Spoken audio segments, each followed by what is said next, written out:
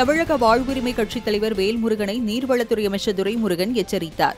தென் மாவட்டங்களில் சாதி கலவரம் அதிகம் நடப்பதாக வேல்முருகன் கூறியதற்கு தனிப்பட்ட முறையில் நடக்கும் பிரச்சனையை சாதி கலவரமாக பேசக்கூடாது என அப்பாவு தெரிவித்தார். தொடர்ந்து பேசிய வேல்முருகன் சிறைச்சாலையில் அனைவரையும் ஒரே முறையில் நடத்த வேண்டும் என்றும் சிறையில் அம்மா உணவகம் மோசமான நிலையில் இருப்பதாகவும் கூறினார். அதற்கு ஏதாவது ஒரு சம்பவத்தை குறிப்பிட்டு பேச வேண்டும் என்று அப்பாவு கூறிய போது குறுக்கிட்ட துரைமுருகன் எங்களை பத்தியா பேசுகிறாய்? நல்லதல்ல என்று எச்சரித்தார். சில நேரங்களில் சட்டப்பேரவைத் தலைவர் அவை மாண்புக்கு எதிராக செயல்படுகிறார் என தமிழக வாழ்வுரிமை கட்சியின் தலைவர் வேல்முருகன் குற்றம் சாட்டியுள்ளார். சட்டப்பேரவை வளாகத்தில் செய்தியாளர்களை சந்தித்த அவர் தமிழ் வளர்ச்சித்துறை மற்றும் சட்டத்துறை தொடர்பாக ஆறு துறை சார்பாக தனது கருத்துக்களை சட்டமன்றத்தில் எடுத்துரைத்து வைத்தேன் என குறிப்பிட்டார்.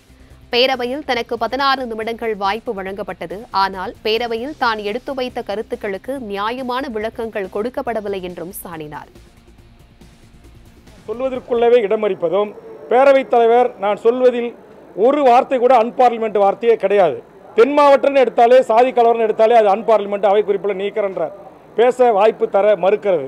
இது வந்து அஹ், ரொம்ப எனக்கு மனசு கஷ்டமாக இருக்குது ஆனால் இப்போ நான் பேசின பதினாறு நிமிடங்கள் பேரவைத் தலைவர் எனக்கு வாய்ப்பு கொடுத்தாரு அதற்கு நன்றி.